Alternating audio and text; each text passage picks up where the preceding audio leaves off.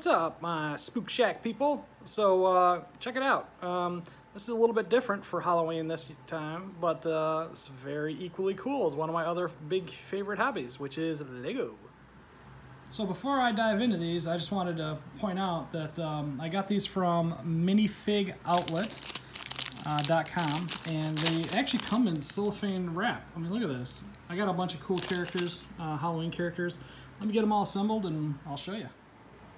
Alright, here we go. So uh, my first guy is Jason Voorhees, and uh, his clothes are pretty sweet looking. Let me brighten that up a little bit. Got a nice tattered jacket, wearing black gloves, pretty sweet. Uh, his face is caved in on one side, so I'm going to have to contact them and say, what the heck. And uh, we got good old Pinhead. Um, he's pretty cool looking. We got his little puzzle box. Not much to look at on the back. Next up we got uh, just a random character that I had to have because I thought it was so cool. It's a dissected Lego. Like all the skin's pulled off and you can see all the guts and bones and everything. And we got Mr. Freddy Krueger. Yeah, he don't look too happy. He's got kind of a grisly sneer on his face.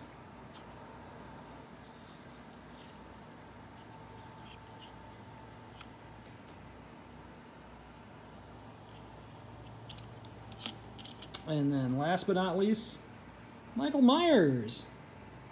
But uh, the hair is kind of weird. It's like kind of yellowish.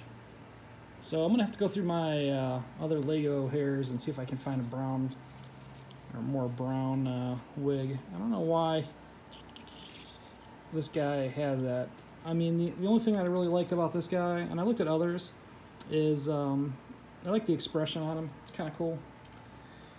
So, there we go. These are from um, minifigoutlet.com think I paid $3 a piece for him, so he's one of the best priced out there.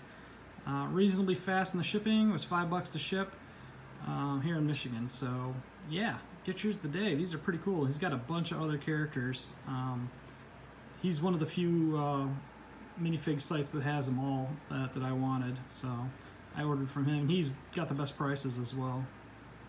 All right. Till next time.